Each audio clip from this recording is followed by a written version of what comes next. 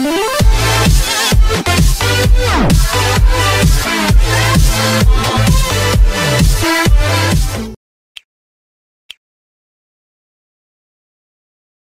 định bóng đá Christian Sun với Man United, 0 giờ ngày 31 tháng 7, nếu không phải vì Ole Gunnar Solskjaer, một trận đấu giữa Christian Sun, một đội bóng trung bình ở Na Uy, với Man United sẽ chẳng biết tới bao giờ mới có thể diễn ra.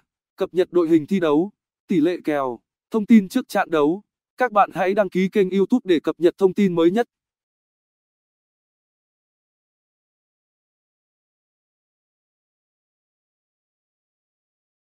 Man United chấp nhận đá trận này, bởi vì, không có gì phải ngạc nhiên. Christian Sun chính là quê hương của vị huấn luyện viên người Na Uy, giám đốc điều hành của Christian Sun, ông Zettil Thorsen chính là đồng đội cũ của Solskjaer ở Klausen Engen, một trong hai đội bóng đã sắp nhập lại thành Christian Sun ngày nay cách đây 15 năm. Hồi đầu năm, Thorson đã đánh bạo gửi tin nhắn cho Solskjaer mời quỷ đỏ về đá giao hữu và không ngờ lại được chấp nhận.